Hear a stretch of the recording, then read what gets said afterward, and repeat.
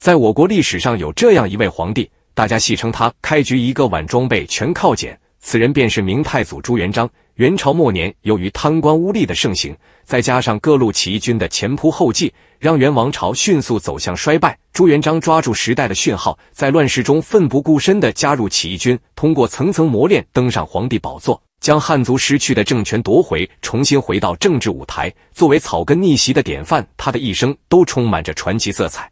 但朱元璋也有着帝王的通病，生性多疑。登基以后，他为保皇位稳固，不惜杀光开国功臣，落下个苛待下属的名头。朱元璋不仅对自己的下属防范心重，就算对自己的亲生儿子也有所保留。据闻有这样一则趣事：一天，朱元璋给儿子朱棣剥了个橘子吃，朱棣很高兴，过后还和马皇后说了。马皇后听见此事后，大惊失色，对朱棣说：“儿子，快跑！你爹要杀你！”朱元璋即便再残暴。难道还会杀自己的亲生儿子？这到底是怎么回事呢？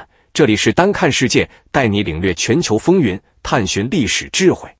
或许有人觉得这个故事真的是太假了，也就是说，大家不相信朱元璋会杀害自己的亲儿子。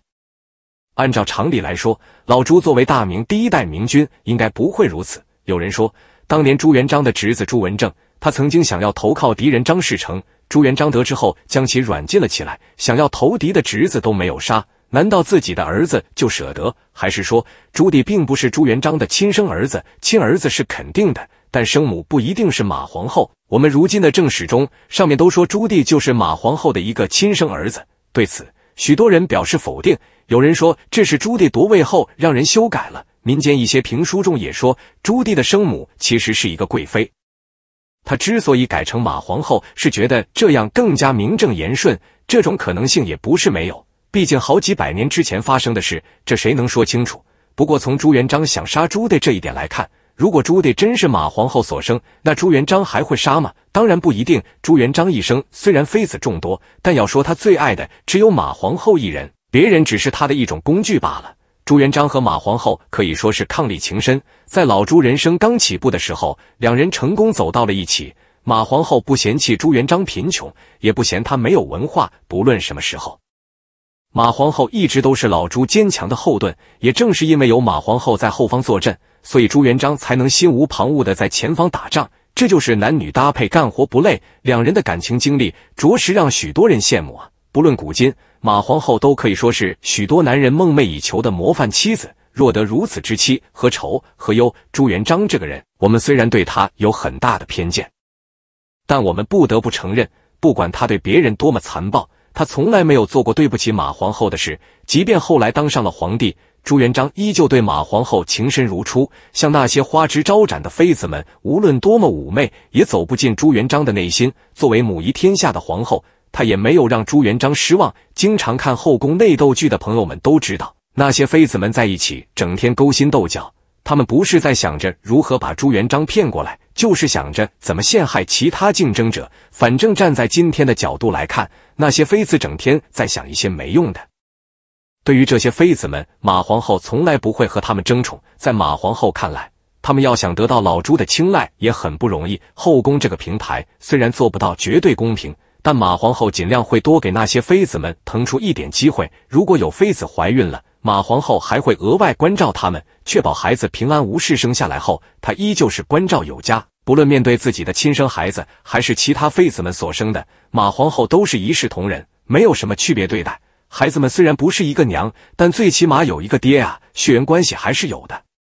所以朱棣小时候，马皇后对他也很不错。如果马皇后并不是朱棣的亲生母亲，那朱棣说她是，说明朱棣心中很认可这位母亲，为表达自己的敬意，所以才会尊为亲母。除了马皇后和未来的妻子徐氏，能让朱棣感到温暖的另外一人就是朱标了。作为朱元璋和马皇后的长子，朱标一出生就备受宠爱，尤其是朱元璋，自从这位儿子出生后，他直接将朱标当成未来继承人培养了。在许多人看来，这样的孩子容易被父母溺爱坏了。其实不然，朱标作为朱元璋孩子中的老大，他从来没有欺负过其他弟弟或者妹妹们，对他们一直都是呵护有加。比如朱元璋要惩罚或者鞭打某个孩子的时候，不论如何，朱标都会上前求情。有时候朱元璋恼火了，他还会连带着朱标一起打。就是这种时候，朱标从来没有退缩过。为此，他没少和弟妹们一起受惩罚。朱标向来都是站在自己兄弟这边，他基本上很少会为了讨好朱元璋就在其身后拍马屁，不像有的皇长子巴不得父皇惩罚其他弟弟妹妹呢。对于这种情况，其实朱元璋心中是很复杂的。朱标即便是无辜受牵连挨打，他也是站在兄弟姐妹们这边。朱元璋对此还是很满意的，这总比亲兄弟之间谁也看谁不爽强多了。往后说，这有利于他将来继位后和藩王们处理好关系。不过朱元璋不满意的一点就是朱标实在是太仁慈了，简直就跟活菩萨一样。朱元璋虽然不反对仁慈，但在他眼中，朱标着实有些仁慈的太过分了。就跟爱干净的人有洁癖一样，这对他以后当了皇帝可是不太好啊。朱元璋觉得朱标要是一直这样下去，他怕儿子以后镇不住那些功高震主的大臣们。其实朱元璋是把朱标当成了一个懦弱的草包，但朱标还真不是这样的人。他虽仁慈，但面对邪恶势力并不会如此。所以那些大臣们要是想造反的话，朱标绝对不会坐视不理。但另一个问题又来了：如果是弟弟们抢皇位，那朱标还会如此果决吗？这很难说，在朱标眼中，这皇位只要是朱家弟子，谁坐上去也可以，毕竟大家都是一家人嘛。但朱元璋并不这么觉得，在老朱眼中，其实他只有朱标这么一个儿子，至于其他儿子，更像是别人家的。朱标从小的待遇就是未来太子级别的，从这一点不难看出，朱元璋对朱标的确是宠爱。所以，即便是自己的其他儿子抢皇位，那朱元璋也是不愿意的。那这些藩王中，谁最有实力和朱标抢呢？当然就是阎王朱棣了。朱棣从小在军营中长大，后来的他更是经常提着刀剑上阵杀敌，勇猛的他逐渐得到了朱元璋欣赏。朱元璋当年也曾承认过，这么多儿子中最像他的就是朱棣了。朱元璋的梦只是很可惜，朱棣并不是长子，所以太子之位轮不到他。朱元璋建立大明后，朱棣被封为燕王，到北平就翻去了。朱棣上任后，由于常年和北元作战，朱棣也是有了一支强大的军队，再加上他卓越的军事天赋，他变成了实力最强大的藩王。本来朱棣强大应该是一件好事才对，毕竟他们还要对抗外面的敌人，他们的实力要是大打折扣，恐怕那边就会被撕开一个口子。道理虽然是这样，但后来的朱元璋却对此颇为不满，因为他怕朱棣以后会影响朱标的皇位。其实朱元璋完全是多虑了。他之所以会怀疑自己的亲儿子，就是因为他把儿子当成了自己的臣子对待。在他们帝王家，皇帝和皇子们的确还有一层君臣关系，但不管再怎么着，他们之间是有血缘关系的呀，并不是真正意义上的君臣。此外，朱棣对这位大哥更是非常敬重，就算他反朱元璋，也不会反朱标。往更深的说，其实他也没有想过反朱允文。要不是朱允文自己作死，估计朱棣也不会被迫当上皇帝。有一天早晨起床后，朱元璋对马皇后说：“他梦到了一个手持武器、身材高大的金甲卫士。这个卫士也不知是人是鬼，反正他来到皇宫中后，直接抡起武器大开杀戒，不论是谁都得挨上那么一下子。就连朱元璋都没有幸免。就当老朱差点要挨一下子的时候，他直接被吓醒了。这个梦对于老朱来说还是太恐怖了，毕竟他差点被打死。很显然，有人对他的皇位有想法。”不然为什么要刺杀皇帝？非常巧的是，朱元璋那时候正在怀疑朱棣，所以老朱觉得梦里的金甲卫士多半是这小子派来的。也正是因为有这个念头，所以朱元璋的疑心越来越重，以至于都想除掉自己这个儿子了。自古无情最是帝王家，在帝王家中，大部人根本不在乎什么血缘关系，所以更多的是自己一个人在修罗场中战斗。不论是谁威胁到了皇权，皇帝都不会坐视不理。而且朱元璋又是一个比较残暴的人，所以他想除掉自己的儿子就显得不足为奇了。